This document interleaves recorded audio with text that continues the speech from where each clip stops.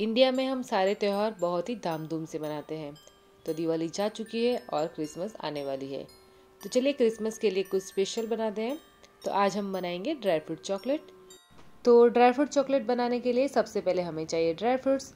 तो ये दिवाली के ड्राई फ्रूट्स पड़े हुए हैं मेरे घर पे, जो दिवाली में गिफ्ट में आए थे। तो आज हम वही यूज़ करेंगे। तो यहाँ पे मेरे पास है काजू, बादाम, पिस्ता, किशमिश, अखरोट और क्रैनबेरीज। तो हम यहाँ पे सारे ड्राई फ्रूट्स का यूज़ करने वाले हैं।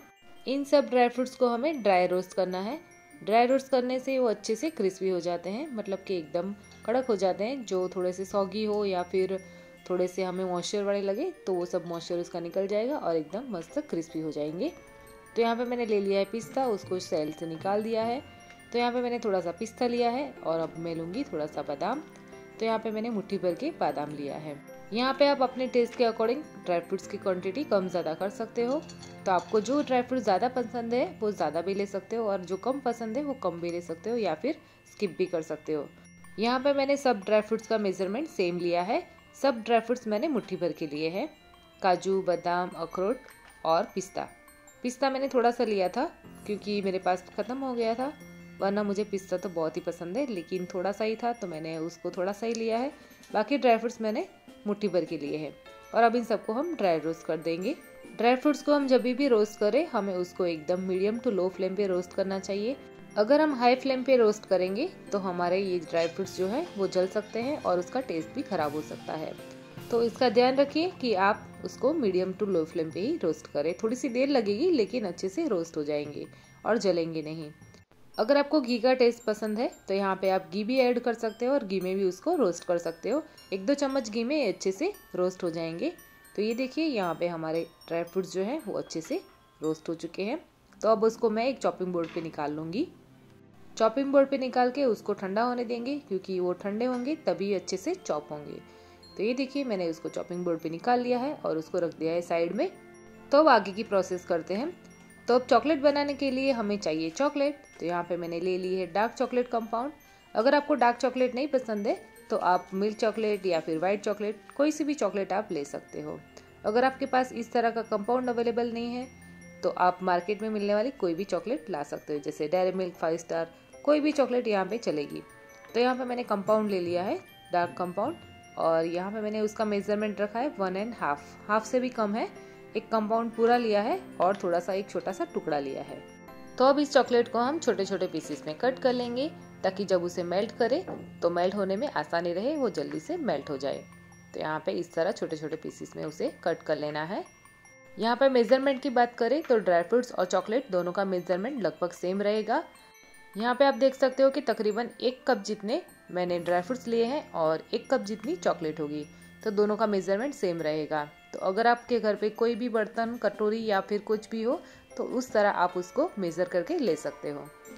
और अब मैंने ले लिया है सेम पैन जिसके अंदर मैंने ड्राई फ्रूट्स रोस्ट किए थे और उसको मैंने साफ़ कर लिया है, क्योंकि ड्राई फ्रूट्स के थोड़े से वो छिलके उसके अंदर रह गए थे तो वो मैंने साफ़ कर लिया है।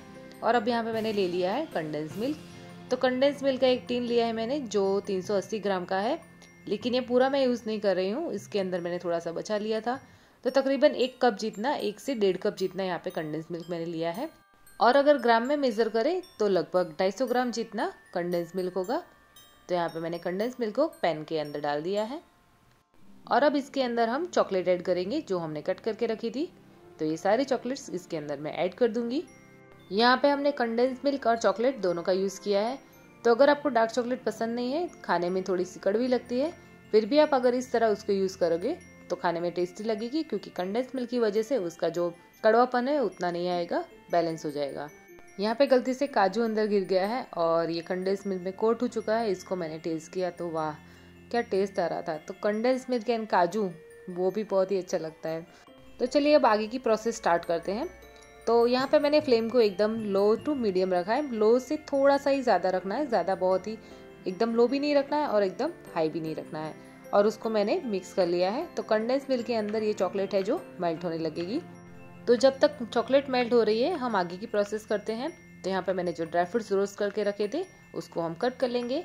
तो इसको एकदम फाइन चॉप नहीं करना है, एकदम छोटा छोटा नहीं करना है। थोड़े से बड़े पीसेस होंगे तो भी चलेगा। और साइड में जो मिक्सचर हमने बनाया है कंडेंस मिल्क और चॉकलेट का, उसको भी चलाते रहेंगे। उसको छोड़ के भूल नहीं जाना है, वरना नीचे से जलने लगेगा। और यहाँ पे आप नॉन स्टिक पैन का यूज़ करिएगा, बहुत ही बेटर रहेगा। स्टील का या फिर एल्यूमिनियम का पैन लेंगे तो इतना मज़ा नहीं आएगा।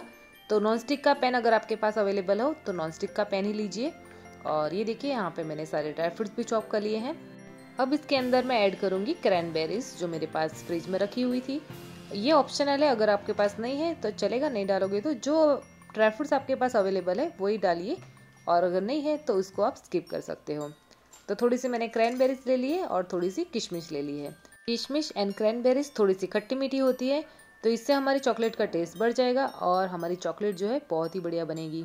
तो इन दोनों को मैंने ड्राई फ्रूट्स के साथ मिला लिया है तो तकरीबन एक कप जितना हमारा ड्राई फ्रूट्स बन के रेडी हो गया है। तो ये देखिए यहाँ पे हमारी सारी चॉकलेट मेल्ट हो चुकी है। फिर भी इसको अभी चलाना है, ये थोड़ा सा गाढ़ा हो जाएगा, तब तक उसको हम चलाते रहेंगे। तो इसको चलाते हुए मुझे 10 से 12 मिनट हो चुके हैं और 10 से 12 मिनट में अच्छे से मेल्ट भी हो जाएगा और थोड़ा सा गाढ़ा भी हो जाएगा। तो अब इसके अंदर ऐड कर देंगे सारे ड्राई फ्रूट्स। यहाँ पर हम गैस की फ्लेम बंद नहीं करेंगे, उसको चालू ही रखना है और ड्राई फ्रूट्स ऐड करने के बाद उसको मिक्स करना है और फ्लेम हम जितनी रखी थी मीडियम टू लो, उतनी ही रखेंगे और उसको चलाते रहेंगे। तो हमें उसे पाँच मिनट और पकाना है। यहाँ पे मुझे और पाँच मिनट मिल गई तो मैंने यहाँ पे साफ़ सफ़ाई कर दी है थोड़ी बहुत और अब मैंने ले लिया है बटर। और ये जो सॉल्टेड बटर आता है, वही लिया है मैंने और उसका एक छोटा सा पीस मैं कट कर लूँगी और ये चॉकलेट के अंदर मैं उसे डाल दूँगी। बटर ऐड करने से चॉकलेट की रिचनेस बढ़ जाती है और एकदम सिल्की और स्मूथ बनती है। तो ये देखिए, थोड़ा सा बैटर गाढ़ा भी हो गया है और इसके अंदर बटर डाल के इसको मैंने अच्छे से मेल्ट कर लिया है बटर को और अच्छे से मिक्स कर लिया है। तो आप यहाँ पे देख सकते हो कि इतना गाढ़ा होने तक हमें पकाना है और अब हम गैस की फ्लेम ऑफ़ कर देंगे और उसे ठंडा होने देंगे। ठंडा होने के बाद ये और भी गाढ़ा हो जाएगा। तो अभी इससे आगे हम नहीं पकाएँगे उसको इतना ही पकाएँगे। ये प्रोसेस करने में मुझे तकरीबन 15 से 20 मिनट लगे तो 15 से 20 मिनट में ये जो हमारा मिक्सचर है, एकदम रेडी हो जाएगा। और अब हमें ले लेना है एक बटर पेपर तो पहले मैंने थोड़ा सा छोटा सा बटर पेपर लिया था, लेकिन हमें यहाँ पे चाहिए थोड़ा सा बड़ा बटर पेपर तो यहाँ पे मैंने फिर से बटर पेपर कट कर लिया है, थोड़ा सा बड़ी साइज़ का लिया है। क्योंकि हमें इसे रोल करना है तो हमें बड़ा बटर पेपर चाहिए। अगर आपके पास बटर पेपर नहीं है तो आप प्लास्टिक शीट भी ले सकते हो। उसके ऊपर आप बटर या फिर ऑयल लगा के उसको ग्रीस करके भी यूज़ कर सकते हो। तो यहाँ पे आप देख सकते हो कि ये जो मिक्सचर है चॉकलेट का, वो पहले से बहुत ही गाढ़ा हो चुका है।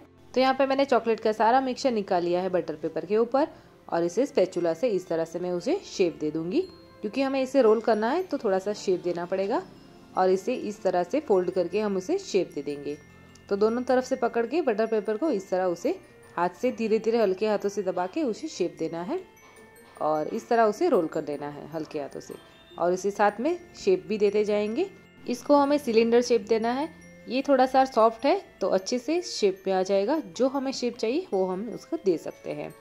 तो ये देखिए, इस तरह मैंने उसको रोल कर लिया है हल्के हाथों से और एक अच्छा सा सिलेंडर शेप भी दे दिया है। तो अब इसको हम रख देंगे फ्रिज में थोड़ी देर सेट होने के लिए। तो 10 से 15 मिनट में अच्छे से सेट हो जाएगा। तो ये देखिए, अच्छे से सेट हो चुका है और इसको हम निकाल लेंगे।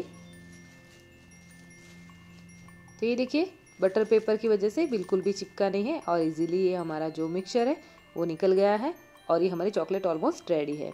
तो अब इसको पीसीस में कट कर लेंगे। तो ये देखिए इजीली कट भी हो रहा है और हमारी चॉकलेट बहुत ही बढ़िया बनी है।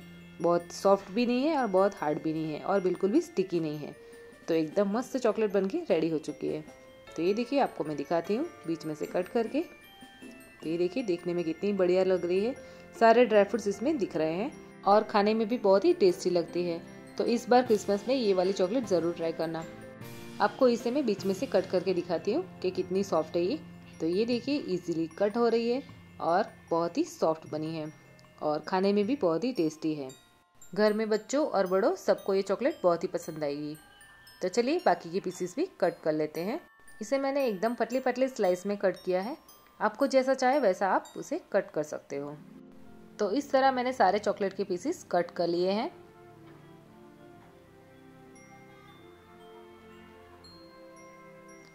और अब इसे एक प्लेट में निकाल लेंगे।